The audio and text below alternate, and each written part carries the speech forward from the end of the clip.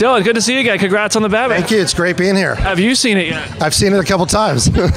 Man, so I want to hear about the start of this journey because the Batman, like I remember five, six years ago, this was like a Ben Affleck movie. Oh yeah, okay, yeah. And then it transformed into Matt took over. Now we have Pattinson. We're finally here. When did this shred of an idea first come to life for you guys? This was about two, about five years ago. Uh, Matt came up with a pitch, and then we went on a journey to get a script written, and then we found this great Batman. And that then Rob's been with us for three years, and then two years of making the movie.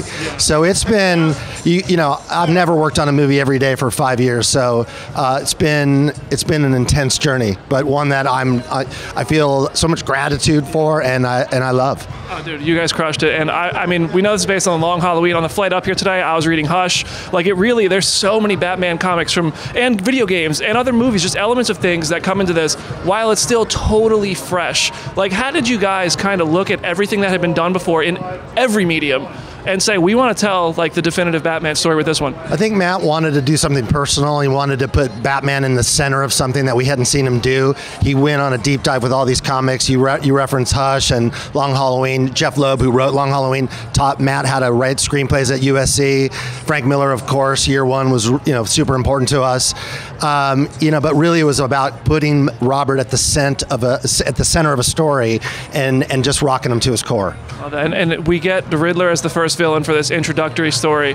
Are there Batman is known for his rogues gallery? Any characters who you guys really are like, maybe that one would be fun if we get to it? Along the way, of course, we meet Selina Kyle, who's going to turn into Catwoman, and Oz is there, who is going to become, you know, P- Penguin and, and the Kingpin at some point. We hope. That's right. And you mentioned Oz. I mean, like, I know we, we've heard about various spin offs and stuff.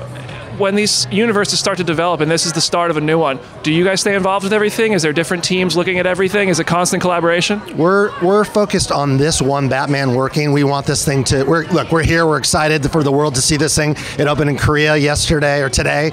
Um, this is about getting this one done right, and then uh, hopefully we're lucky enough to do another one. And you and Matt have been partners on plenty of films before this one. I love all of them. You guys, especially coming off the Apes movies, huge fan of those. What sort of things did this, like the Batman, did it challenge you in new ways? Is it the expectations from fans that are different? Like, what kind of stuff went into it that didn't go into anything you did before? Yeah, 80 years of Batman just puts a heavy pressure on anybody. And, you know, you have to be ambitious when you take a swing on this kind of movie. There's all these great directors that have come before you and these great Batmen. You got Snyder, you got Nolan, you got Ben, you got uh, Bale, you know, Keaton. Um, it's, it's intimidating, it's daunting. There's moments of terror, but then you got to just put it behind you and just swing for the fences. And so that's what we tried to do. We, I, res- I respect the respect you have for all the previous iterations. And my last thing for you, say this is a huge success, which I think it is going to be. Warner Brothers says we want another one. This one took five years. How long does it take to make a second movie that, that lives up to this quality again? I will go on record saying that it will be less than five years.